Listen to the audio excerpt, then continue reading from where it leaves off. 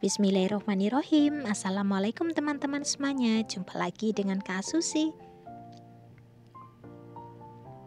Untuk resep kali ini Saya mau membuat yang segar-segar Dari bahan cincau hitam Atau dawet ireng. Nah jadi resep ini Sangat cocok untuk musim panas. Rasanya segar dan manis. Nah, di sini bahan yang saya siapkan ada mutiara. Kita masak terlebih dahulu, didihkan air, kemudian masukkan mutiaranya. Kita masak hingga matang, kemudian kita sisihkan. Lalu saya di sini siapkan juga cincau hitam, saya beli instan dari supermarket. Kemudian saya potong dadu. Teman-teman bisa memotongnya sesuai selera. Setelah dipotong-potong, kemudian kita sisihkan seperti ini. Kemudian saya memakai gula batu juga ya teman-teman, ini dari Taiku.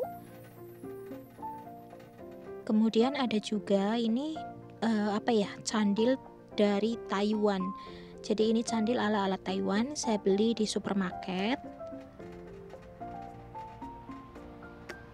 Nah, cara memasaknya seperti ini, kita didihkan air.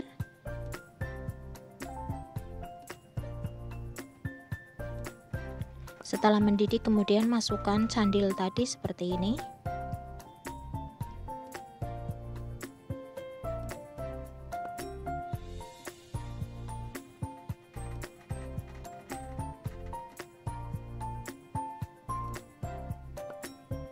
Nah, kalau sudah mendidih kemudian mengambang, itu tandanya sudah matang.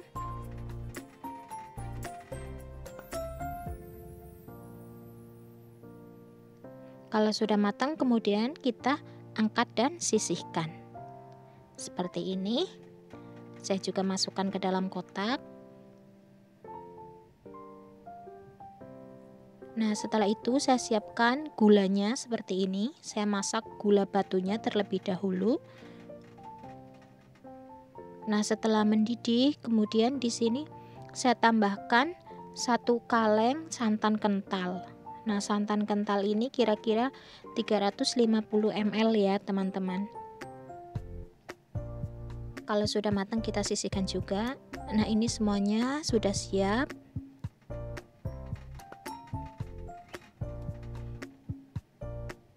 Nah, kalau sudah siap, teman-teman bisa meraciknya, mencampur semua bahan-bahannya dan masukkan ke dalam mangkok seperti ini. Nah, ini rasanya segar dan manis apalagi kalau ditambah dengan es batu.